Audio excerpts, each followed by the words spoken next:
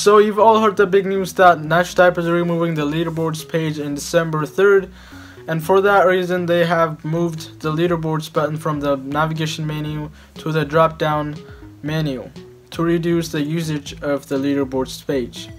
So now when you try to go to the leaderboards page it kind of feels odd like it used to be in the navigation menu and so you go there but it's not there anymore so you gotta go up here and then drop down and then click there so to remove all that complexity in this video I'm gonna show you how to move the leaderboards button back to the navigation bar. So it's back to normal.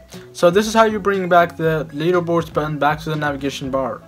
It's really easy and simple like it might take you like 20 seconds maybe or 15 First, if you haven't already, go to Chrome Web Store and add the extension TamperMonkey to Chrome. Link will be in the description by the way, so you can just click on that link. Then go to Greasy Fork and search for NitroType Leaderboards button.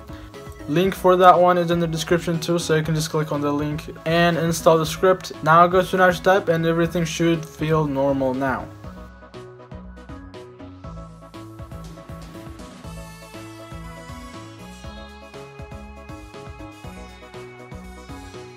So in a quick summary, let me tell you why NitroType is removing the leaderboards page.